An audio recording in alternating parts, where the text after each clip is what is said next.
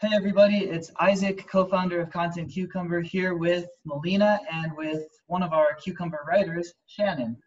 And Shannon just moved up. She graduated to working in the jar, so that's really exciting. And I wanted to ask you, Shannon, um, how do you normally start writing your articles? Do you write an outline? Do you just start from square one? Um, what's what's your creative process?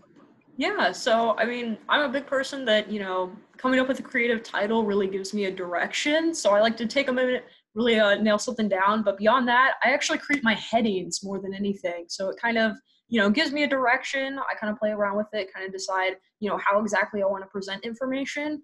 And then sometimes I'll go in order of the headings. Sometimes I'm a little crazy and I'm like, you know, I'll write backwards almost. Yeah. But definitely, you know, the larger that the font's going to be, I'm going to start with that first and you know kind of the details definitely come later. Very cool. And melina another process related question and i think one that's a controversial topic among writers. Do you listen to music while you write? Oh it's it is definitely kind of difficult for me to say because i al- i always have music on the in the background when i'm working.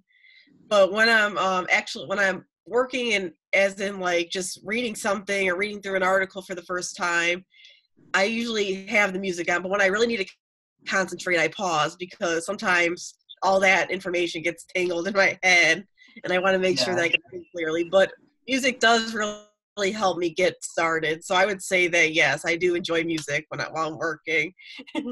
well, very cool. Thanks, Shannon. Thanks, Melina.